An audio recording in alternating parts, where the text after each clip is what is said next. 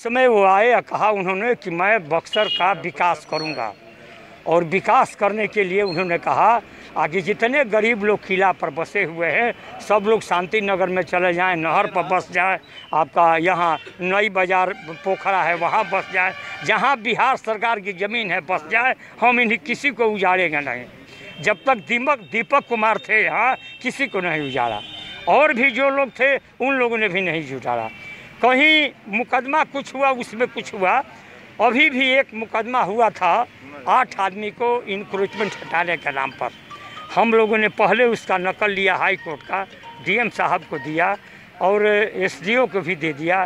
कहा कि देखिए साहब, यही है। और सीओ से भी कहा कि देखिए आठ आदमी के अलावा नौवा आदमी का नाम लेंगे इसके बावजूद भी मैडम हैं, चुनाव के बाद चुपके से गई हैं और नब्बे गरीबों का घर उजाड़ दिया।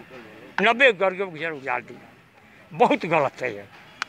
बिहार सरकार की ज़मीन में बसे हुए हैं, उनको वैकल्पिक व्यवस्था करने के बाद ही कानून के मुताबिक हटाना चाहिए। अब हम लोग उसके लिए लड़ाई लड़ रहे हैं। एस डी साहब ने भी मुझसे कहा कि अब कोई उजाड़ेगा नहीं, जहाँ लोग हैं, रहें। और से लोगों से भी कहा था, मुझसे भी था। डीएम से भी ने, डीएम साहब ने भी कहा आ कि वो लोग अभी रहें वहाँ हम लोग व्यवस्था करेंगे। लेकिन अभी व्यवस्था का कुछ इंतज़ाम नहीं हुआ। कमेटी एक गठित हुई है। आ, उसमें हैं आपके एडीएम हैं बक्सर एसडीओ हैं और डीएसपी बक्सर है। तीन आदमी चार आदमी हैं कमेटी। और इंक्वायरी करेंगे उसका। लेकिन एक बात मैं आपके माध्यम से डीएम साहब से कहना चाहूँगा। डीएम साहब आदमी आकाश में नहीं रह सकता है न पताल में भी नहीं रह सकता है।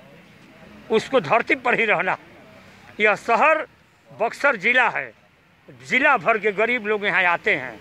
जो बाहर नहीं जाता है, यहाँ रोड पर भी भुजना बेच के अपना पाँच बच्चा जिला लेता है। आप अगर उनको बेदखल करते हैं तो वो पाँच आदमी के पेट पर लात मारते हैं। यह काम नहीं होना चाहिए। आप कभी बड़ी कभी मेन रोड साफ़ करने के नाम पर, कभी बिहार सरकार ज़मीन के नाम पर हटाते हैं, ये ठीक नहीं है।